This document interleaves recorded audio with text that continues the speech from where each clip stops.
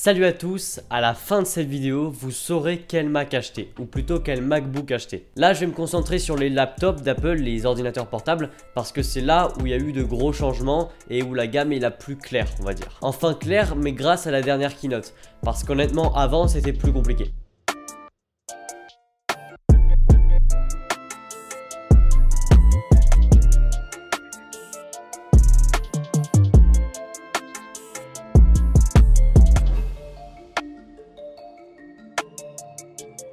J'ai trouvé qu'il y avait un gros manque de compréhension au niveau des MacBook Pro 14 et 16 pouces.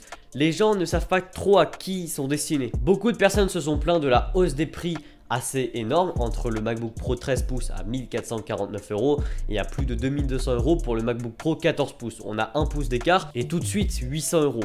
Mais c'est bien plus complexe que ça, je vais vous expliquer. C'est complexe, oui, mais la gamme est simple. Maintenant, elle est assez facile et dans tous les cas, cette vidéo va vous aider. Et donc vraiment, à la fin, vous saurez lequel Mac choisir, vous serez tout de suite aiguillé. En gros, avec les MacBook Pro 14 et 16 pouces, Apple a séparé les gammes, vraiment. On a d'un côté le MacBook Air et de l'autre côté les MacBook Pro 14 et 16 pouces et on a le 13 pouces encore aujourd'hui mais il devrait disparaître. Donc Apple a vraiment assumé ses prix et l'a justifié par la clientèle visée et donc du coup la puissance que ça demande. Mais donc dans tout ça, dans les MacBook Pro 14, 16, 13 pouces, MacBook Air, lequel choisir, lequel est fait pour moi? Comme je vous l'ai dit, maintenant on a donc deux gammes, comme avant, mais vous allez voir qu'elles ont changé, MacBook Air et MacBook Pro. Donc on commence avec le MacBook Air, très fin, une bonne puissance avec la puce M1 et donc du coup une très bonne autonomie. Bon, il n'a pas de ventilateur parce que ses puces chauffent pas, mais donc du coup les performances sont un peu plus bridées que le MacBook Pro 13 pouces qui avait la puce M1, qui est d'ailleurs sur le store d'Apple encore aujourd'hui, mais qui lui avait des ventilos, donc on avait des perfs un peu au-dessus. Et d'ailleurs ce Mac commence à 1129 euros. De l'autre côté, on a justement les MacBook Pro et on en a trois le MacBook Pro 13 pouces, le MacBook Pro 14 pouces et le MacBook Pro 16 pouces. Vous l'aurez compris, les nouveaux sont donc les 14 et 16 pouces. Mais avec tous ces Macs là, ils ont préféré garder encore le 13 pouces, mais sans baisser le prix. Donc déjà, rien que là, vous savez à peu près vers quelle gamme vous dirigez. Si vous êtes un professionnel hardcore et donc vous avez besoin d'un Mac à 2700 euros avec une puce M1 Max, etc. Ou alors si vous faites simplement de la bureautique, du traitement de texte, un peu de montage photo et un peu de montage vidéo. Et dans ce cas, le MacBook Air vous suffira amplement et même vous serez très satisfait parce qu'il a plus de puissance que ce que vous demandez. Honnêtement, j'ai pas testé le MacBook Air et ni d'ailleurs les MacBook Pro dont je vous parle, mais moi j'ai un Mac mini M1 avec une puce M1 exactement celle présente dans le MacBook Air. C'est juste que moi mon Mac mini a des ventilateurs donc il a des puissances relatives à un MacBook Pro M1 13 euh, pouces, pas les nouveaux évidemment. Et honnêtement, la puissance est très très bonne, hein, je vous le dis. Hein. je monte toutes mes vidéos dessus. Ça fait longtemps que je vous dis que je filme à l'iPhone et je monte avec le Mac Mini. C'est un régal, j'ai jamais ressenti de bug. Après, je suis sous Final Cut Pro, donc le logiciel est parfaitement optimisé. Mais globalement, la puissance est assez incroyable. Et sur un MacBook Air à 1129 euros, avoir une telle puissance, c'est énorme. Je vous rappelle qu'à l'époque, on avait un i3. Lancer Final Cut, c'était déjà une grosse tâche pour lui. Là, vraiment, vous êtes mais libéré sans qu'Apple ait monté de prix au final. Le MacBook Air a toujours coûté 1000 129 euros. Au niveau de la configuration de ce dernier, moi je vous l'ai dit, c'est assez puissant. Donc du coup, il n'y a pas besoin d'avoir 16 Go de RAM. Je pense pas que ce soit vraiment utile 16 Go de RAM sur un MacBook Air parce qu'au final, si vous avez besoin de 16 Go de RAM, c'est que vous avez besoin de faire du montage vidéo hardcore. Et si vous voulez faire du montage vidéo hardcore, je vous conseille de vous diriger vers les pros. Donc non, prenez un MacBook Air 8 Go de RAM, ça suffit amplement. Par contre, prenez du stockage. Faites pas l'erreur que j'ai faite de prendre 8 Go de RAM, ça ça va, mais 256 Go de stockage c'est trop peu. Prenez minimum 512 Go et donc ça fait monter la fiche technique à 1400 euros à peu près. Et là vous aurez une bête de course. 8 Go de RAM sur macOS c'est déjà énorme. 512 Go de stockage, vraiment vous allez vous régaler pour faire tout ce que vous voulez. Alors oui, c'est onéreux, mais c'est le prix qu'il faut si vous voulez acheter un Mac. Et avoir tous les avantages, je vous ai déjà fait une vidéo 5 choses à savoir avant d'acheter un Mac. Elle est assez vieille mais elle est toujours d'actualité. Euh, la longévité, la batterie, l'écran qui est toujours très bon, macOS, toutes les applications optimisées, etc. Alors par contre, oui, vous avez fait votre choix, c'est le MacBook Air qu'il vous faut, mais lequel? Est-ce qu'on achète celui de 2020 ou on attend celui de 2022 vers mars-avril 2022, d'après les rumeurs? Honnêtement, si vous êtes dans l'urgence, le MacBook Air M1, il sera encore très très bon euh, bah, quand le prochain sera sorti. Mais si vous pouvez, attendez s'il vous plaît. On aura peut-être des puces M2 ou peut-être une puce M1 améliorée. On n'aura pas autant de différence que le MacBook Pro 13 et 14 pouces, mais on aura quand même des hausses de puissance euh, d'autonomie et peut-être un nouveau design avec des couleurs, etc. Donc attendez si vous pouvez ou sinon achetez et ne regrettez pas, c'est très bien. Bon, au final, c'est au niveau de la gamme Pro que c'est assez compliqué. Apple s'est dit, bon, c'est des pros, on peut faire plein de gammes, plein de déclinaisons, mais c'est quand même un peu le bordel, je trouve. Donc voilà, ça rappelle un peu l'époque où on avait des Mac Intel, où fallait choisir i7, 3,2 GHz, etc. C'est le bordel. Donc je vais vous expliquer comment bien choisir son MacBook Pro. Alors selon moi, le MacBook Pro 13 pouces n'a plus aucune utilité aujourd'hui.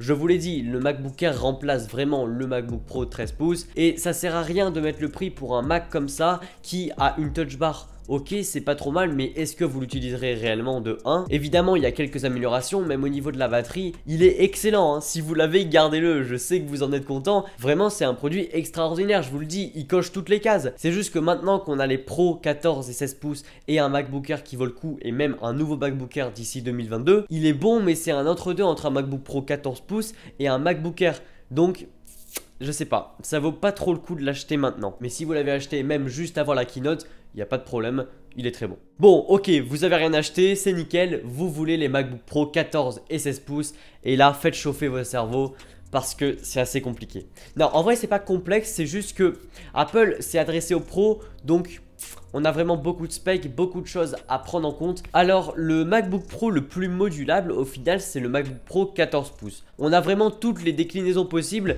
et euh, certaines versions sont vraiment très proches avec par exemple que 40 euros d'écart. Bon vraiment l'entrée de gamme du MacBook Pro 14, l'entrée de gamme entre guillemets à 2249 euros la version de base. Vous avez donc 16 Go de RAM et 512 Go de stockage avec une puce M1 Pro donc 8 cœurs de CPU 14 cœurs de GPU et 16 cœurs de Neural Engine. Et donc on a aussi plein d'autres déclinaisons de ce processeur M1 Pro. On a donc 10 cœurs CPU au lieu de 8 cœurs CPU et toujours 14 cœurs de GPU et 16 cœurs de Neural Engine, ça c'est partout.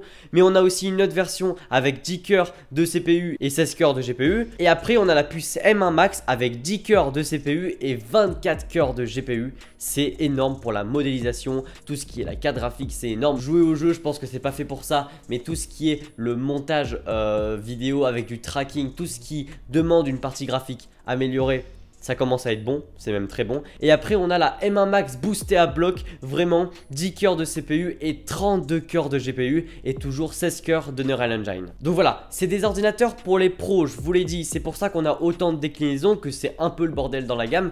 Et si vous vous y retrouvez pas et que vous savez pas quoi choisir, c'est sûrement parce que ces Macs ne vous sont pas trop destinés. Dirigez-vous vers un MacBook Pro 13 pouces si vous voulez un MacBook Pro. Pour les autres, vous saurez quoi choisir entre tous ces processeurs différents. Au final, il y en a deux, mais dans plusieurs déclinaisons. Si vous avez besoin du M1 Pro mais un petit peu amélioré au niveau du GPU, vous pouvez. Et si vous avez besoin d'une puissance maximale, prenez tout de suite un M1 Max. C'est clairement le meilleur processeur d'Apple aujourd'hui en 2021, voire même début 2022. A savoir que dépendamment du processeur que vous prenez, vous avez accès à plus de RAM ou moins de RAM. C'est-à-dire que pour tous les processeurs M1 Pro, vous aurez que, entre guillemets, 16 et 32 Go de RAM. Si vous voulez atteindre les 64 Go de RAM, il vous faudra absolument vous diriger vers la puce M1 Max. Et dans ce cas, ça fait gonfler le prix, mais vous aurez bien vos 64 Go de RAM, mémoire unifiée, donc vraiment collé au processeur. Donc le transfert est très rapide, c'est de la RAM extrêmement rapide. C'est ouf. Bon, par contre, au niveau du stockage, vous inquiétez pas, vous pourrez prendre du stockage de 8 Tera avec une puce de base M1 Pro, la classique, la moins chère. Bon, évidemment, tout ce que je vous dis là s'applique également au MacBook Pro 16 pouces, ça s'applique vraiment aux deux MacBook Pro, sauf que le MacBook Pro 16 pouces, vous avez moins de configuration comme je vous ai expliqué au niveau de la puce M1 Pro. Si vous prenez le MacBook Pro 16 pouces entrée de gamme, vous avez tout de suite la meilleure puce M1 Pro avec un CPU de 10 cœurs, un GPU de 16 cœurs et Neural Engine de 16 cœurs aussi. Et après, bah, vous avez les habituelles puces M1 Max dans ces deux déclinaisons. Donc M1 Max avec CPU de 10 cœurs, GPU de 24 cœurs ou alors M1 Max avec CPU de 10 cœurs et GPU de 32 cœurs. Et donc là aussi, vous saurez faire votre choix. Clairement, si tout ce que je vous dis là ne vous parle pas du tout, comme je vous l'ai dit, c'est vraiment que ces Macs ne vous sont pas dessinés. Sinon, vous savez quel Mac choisir. Donc voilà, mais par contre, si ça vous parle et que vous avez vraiment besoin de ça, dirigez-vous vers les MacBook Pro 14 et 16 pouces. Mais oubliez pas que ces Mac là, c'est vraiment pour le gros, gros, gros, gros, gros montage. Final Cut Pro, encore une fois, je le répète, hein, mais j'ai un Mac à 800 euros, les gars. Mac à 800 euros. Il a juste des ventilos qui tournent, donc évidemment, ça permet d'avoir plus de puissance parce que du coup, il n'y a pas de bridage du processeur pour éviter qu'il chauffe. Mais donc voilà, je trouve que la gamme est plus facile. Le MacBook Air, c'est fait pour 90% de la population. Et donc, le MacBook Pro 13, c'est fait pour 5%. C'est un peu les ovnis, les gens qui veulent un Mac. Mais voilà, je parle aujourd'hui. Hein, le Mac vaut le coup. C'est juste que bah, maintenant qu'on a les 14 et 16 pouces et qu'on a le MacBook Air, c'est plus judicieux de prendre l'un des deux que prendre celui au milieu. Mais si vous avez besoin absolument de celui au milieu, parce que vous voulez absolument la touch bar, vous voulez absolument la puissance d'une puce M1 euh, pour pas trop cher au final, mais avec une bonne ventilation pour avoir du coup de bonne puissance. Voilà, donc voilà, c'est la fin de ce petit guide d'achat. N'oubliez pas qu'un MacBook Air va arriver très prochainement, d'ici 4-5 mois on va dire, j'espère en tout cas. N'hésitez pas à poser des questions, vraiment j'y répondrai, je suis totalement ouvert et vraiment je vous aiderai sur le choix d'un Mac. Allez voir aussi mon Instagram, vous pouvez aussi me parler en message privé, il n'y a pas de problème. En plus je fais beaucoup de stories pour vous aider, c'est assez drôle, il y a plein de choses à faire, plein de sondages. Abonnez-vous, partagez la vidéo à ceux qui en ont besoin, ça me ferait énormément plaisir. Like cette vidéo, envoyez la force et moi je vous dis à la prochaine pour une nouvelle vidéo. Allez, salut